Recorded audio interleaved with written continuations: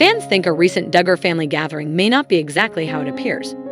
Jessa Duggar recently shared some photos and a video featuring her mother, Michelle Duggar, and all eight of her famous sisters celebrating a rare reunion together in Arkansas. But critics are accusing Jessa of trying to control the narrative to keep her father, Jim Bob Duggar, happy, and this theory actually makes a lot of sense. Jessa posted photos of the large Duggar gathering on Instagram. The Counting on Alum shared a snapshot of herself with her eight sisters and her mother. All of the women are lined up together with a very pregnant Joy Anna posed directly in the middle of the shot.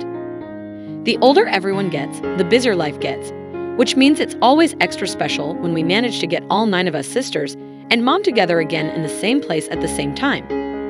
Last week was golden.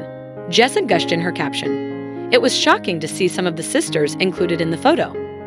The image not only features Jill, who has been notably estranged from her famous parents for years, but also Jinger.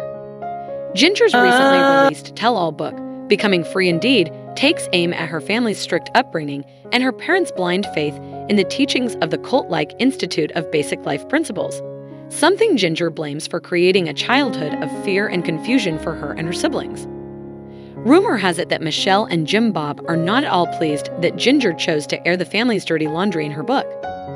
A frequent Duggar family critic pointed out how odd Jessa's framing of the day appeared to be. Jessa Blessa is on damage control for JB today. Katie Joy wrote on her without a crystal ball Instagram page referencing Jessa and family patriarch Jim Bob. Fans noted that videos posted by Jinger and Joy did not include Jill, she continued.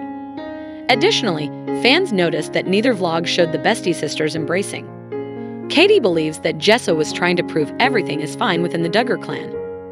Katie's post went on to accuse Jessa of trying to prove that she and Jinger are still on great terms despite the recent drama surrounding Jinger's book, while also showing how accepting they are of Jill, who has largely rejected her family's beliefs and influence since quitting their reality series.